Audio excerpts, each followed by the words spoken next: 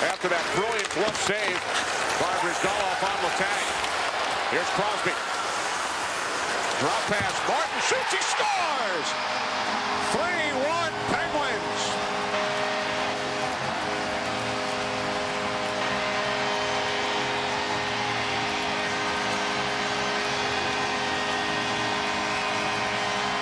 Paul Martin had a bogey on the short-handed goal, but he just Sidney Crosby and Pascal Dupuis.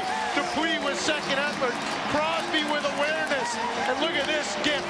Sidney Crosby right to Paul Martin, who shoots it through Brayden Schenn to the back of the net.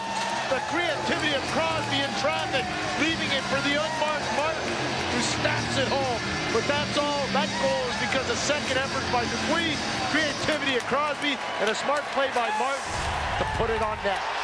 Martin only two goals during the regular season. It's his third career playoff goal. First two came as a New Jersey Devil.